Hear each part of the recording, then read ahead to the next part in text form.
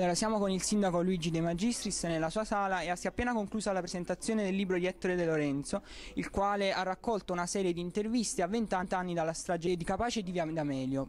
Um, e nel 1992 l'autore era ventenne, oggi ad essere ventenni sono i ragazzi che sono nati nel 92. Quali differenze nota tra i ventenni di allora e i ventenni di oggi?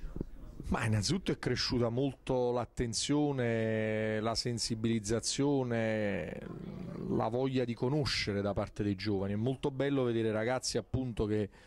non c'erano nel 92 che oggi conoscono perfettamente che cosa è accaduto a Capaci, che cosa è accaduto a Via D'Amelio, quindi vuol dire che c'è chi ha parlato, chi ha raccontato, chi ha narrato, chi ha recitato nei, nei, teatri, è cresciuta la consapevolezza di quanto le mafie si debbano sconfiggere con la cultura, con l'istruzione, con il sapere, con la conoscenza e con le alternative, che quindi le mafie non sono solo una questione di forze dell'ordine e magistratura, ma riguardano tutti noi. I giovani oggi erano presenti, erano presenti anche giovanissimi. Cosa possono dare i giovani a Napoli e Napoli ai giovani? Ma tantissimo, un rapporto di collaborazione reciproca, i giovani chiedono alle istituzioni, al sindaco, a tutti di fare, così come le istituzioni chiedono ai giovani di essere protagonisti, bisogna lavorare tutti insieme, la legalità appartiene a tutti con le gesta concrete, con le azioni quotidiane, con le scelte che ogni giorno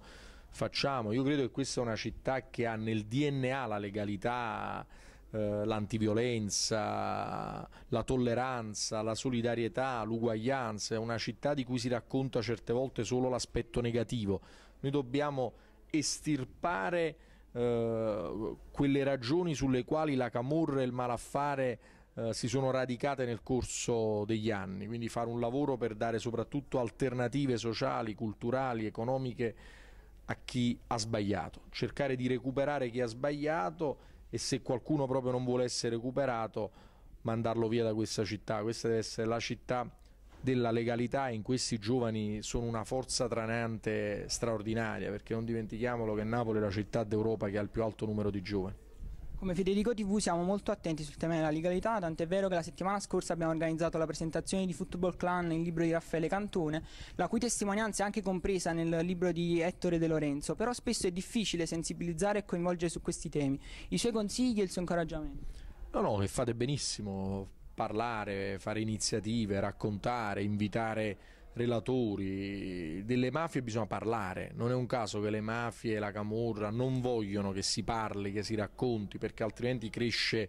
la sensibilità, cresce la voglia di lottare, cresce la consapevolezza, cresce la solidarietà, cresce la vicinanza a chi è impegnato in prima linea, quindi fate molto bene, avete il mio sostegno, tra l'altro io con i mille impegni da sindaco cerco sempre di esserci tra i giovani, di ascoltare, di parlare, di raccontare, di, di, di sottopormi diciamo, a una dialettica forte, quindi apprezzo moltissimo queste iniziative nelle università e nelle scuole. Ringraziamo il Sindaco per la sua disponibilità, linea alla redazione.